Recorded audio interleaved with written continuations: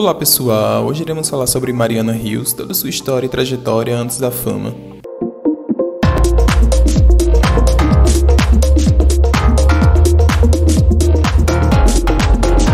Mariana Rios Botelho nasceu em 4 de julho de 1985 em Araxá, Minas Gerais.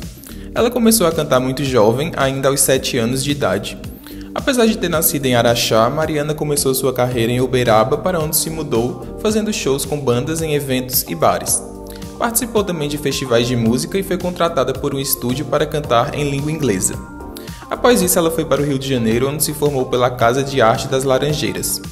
Mariana sempre sonhou com a música e por isso participou do programa de televisão Fama em 2002, onde chegou à penúltima fase das eliminatórias. Como atriz, ela estreou na TV em 2008 em Malhação, interpretando a personagem Yasmin.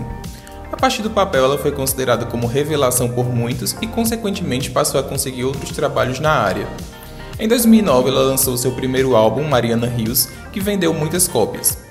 Atuou em outras novelas, como Araguaia, em 2010, onde interpretou Nancy Santos, e a novela foi inclusive indicada ao Emmy Internacional de 2011 na categoria Melhor Telenovela. Participou também de Salve Jorge em 2012 e Além do Horizonte em 2013. Mariana foi repórter do The Voice Brasil entre 2016 e 2017 e competiu no show de talentos Popstar em 2017. Além disso, ela já foi apresentadora do Super Bonita do GNT e em 2022 retomará a função de apresentadora, uma vez que foi contratada para apresentar o reality Ilha Record. Então, pessoal, foi isso. Mariana Rios realmente é uma grande atriz e tem uma bela trajetória na televisão brasileira. Obrigado por ter assistido o vídeo, pois por favor se inscreva no canal se você não está inscrito. Tchau, gente, obrigado.